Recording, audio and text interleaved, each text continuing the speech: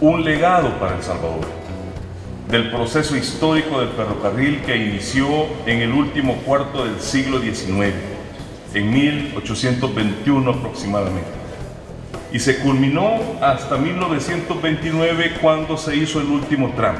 El impacto sociocultural, económico y político del ferrocarril todavía está vigente. En aquel momento transformó la dinámica rural y de movilidad de los salvadoreños conectando pueblos dispersos. Ahora tenemos no solo un referente económico con este libro, sino un referente sociocultural. Queremos recuperar la historia eh, viva de nuestro país, pero no solo por recuperarla, sino que también para que se sepa qué es lo que se desarrolló, cómo se desarrolló, cuáles fueron los problemas que, que hubieron. Y es un compromiso bastante grande de la universidad porque en nuestros fines y objetivos tenemos el de rescatar todo lo, historia, todos los valores nuestros como país.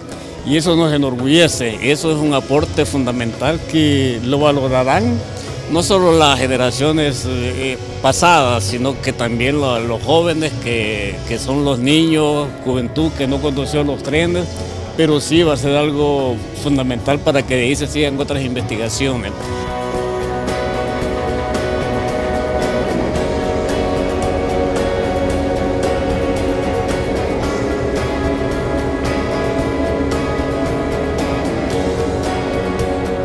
Estamos enfocándonos y abordando la historia del ferrocarril desde otro ángulo, desde el aspecto sociocultural, ver cómo se expandió en Occidente y cómo se expandió en Oriente, en nuestro país, prácticamente, y ver el lado humano y ver realmente destacar a nuestros investigadores, a Cristina e Israel, que encontraron el punto exacto de mostrar la historia, ¿verdad?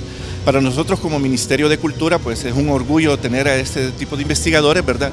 Y el convenio que hemos tenido con la Universidad Gerardo Barrios, con CEPA, pues esto da un impulso mucho más a nuestra historia, ¿verdad? Mi nombre es Israel Cortés. Eh, Trabajo en el Ministerio de Cultura, la Dirección de Investigaciones en Cultura y Arte y bueno, y soy coautor del libro Historia del Ferrocarril en El Salvador. Mi nombre es Cristina García y eh, también soy investigadora en Historia del Ministerio de Cultura y coautora del libro Entre Rieles y Durmientes con mi compañero Israel. El proceso ha sido bastante extenso. La investigación comenzó en 2014, 2015 eh, y bueno, se realizaron entrevistas, se realizó una extensa búsqueda de documentación, una extensa revisión bibliográfica. Eh, se han realizado también eh, recorridos por distintos sectores del país, por Oriente, Occidente, eh, se han realizado también búsquedas en archivos históricos del Salvador, en alcaldías, en Fenadesal, en el Archivo General de la Nación. La historia del ferrocarril pues anteriormente no había sido investigada en el país. ¿verdad? Em, de alguna manera, ciertos historiadores habían investigado el siglo XIX, por ejemplo, y habían tocado pequeñas partes de, sobre el tema, ¿no? sobre los ferrocarriles. Sin embargo, hasta el momento no contábamos con una historia de, los ferrocarriles en El Salvador. Bueno, el acompañamiento de la Universidad Gerardo Vargas ha sido fundamental. Definitivamente, eh, sin el apoyo de la universidad no hubiera sido posible ese trabajo.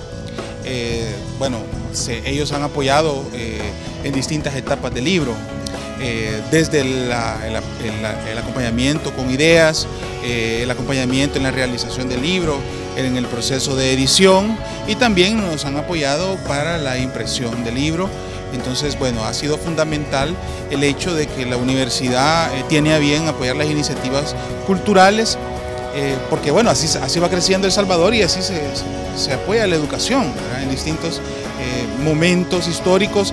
Ha sido también difícil eh, para esos tipos de proyectos salir adelante, pero ahora pues con el apoyo de la universidad lo hemos logrado.